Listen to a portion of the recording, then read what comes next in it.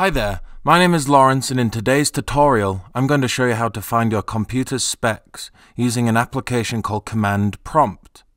To get started, go into the Windows Start bar and type in Command Prompt and open up the Command Prompt application. Type in the following command, system info with no spaces and then hit enter. Your computer's system info and specifications will now be displayed.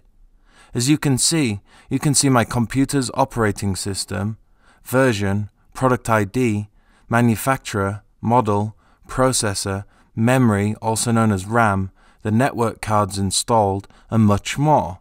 And it's as simple as that. Finding your computer specifications is a simple task to perform.